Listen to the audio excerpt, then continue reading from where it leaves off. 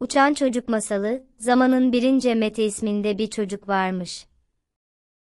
Bu çocuk, okulunu başarıyla bitirip karnesini alarak anne anne diye mutlulukla bağırarak eve koşmuş. Karneye bakan annenin, oğlunun derslerinin çok iyi olduğunu görünce çok sevinmiş. Akşam saati gelince de Mete'nin babası işten gelmiş ve Mete heyecanla babası da karnesini göstermiş. Babası Mete'nin karnesine çok sevinmiş ve benim de size bir sürprizim var demiş. Heyecanlanan Mete, ne sürpriz mi diye kalbi yerinden çıkarcasına meraklanmış. Baba da bu halini görünce gülümseyerek, evet tahminleri alayım, bu yaz tatile nereye gideceğiz sizce, demiş. Mete babasının sorusuna cevaben denize mi gideceğiz babacığım dedi. Baba hayır cevabını verdi. Peki babaannemin köyüne olabilir mi, diye sordu. Baba tekrardan hayır yanıtını verdir. Sorularına hayır cevabı alan Mete, peki ya baba nereye gideceğiz biz diyerek daha fazla dayanamadı. Mete 2'nin babası, hani senin çok istediğin bir ormanlık olan vardı, işte oraya gideceğiz dedi.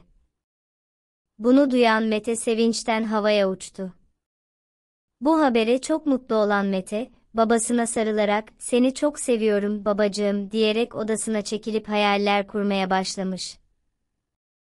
Ormandaki tüm hayvanlarla oyunlar oynadığını ve ağaçların üzerinden uçtuğunu düşünerek uykuya dalmış. Sabah olunca Mete, annesinin tatlı sesiyle o derin uykusundan hemen uyanıvermiş. Kahvaltı sonrası eşyalarını arabaya yerleştirip yola koyulmuşlar. Akşam üzerine doğru gidecekleri otele yere varmışlar. Otel ormanın içerinde olduğu için Mete gider gitmez balkondan hemen ormanı seyre dalmış. Otelin balkonundan ormanın eşsiz güzelliğini seyreden Mete, oracıkta uykuya dalmış. Rüyasında iki omuzunda da beyaz iki kanat çıktığını görmüş ve ağaçların üzerinde süzülerek uçmaya başlamış.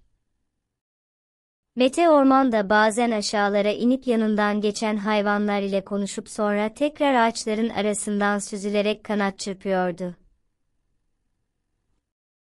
Uçan Mete'yi gören çocuklar, hayranlıklarla gözlerini ondan alamıyorlar ve parmakları ile birbirlerine onu işaret ediyorlardı. Tam gölün kıyısında su içen bir zürafanın yanına doğru yaklaşan Mete, bir ses duymuş. Mete Mete hadi uyan oğlum. Rüyasından uyanan Mete anneciğim rüyanda uçuyordum beni neden uyandırdın demiş.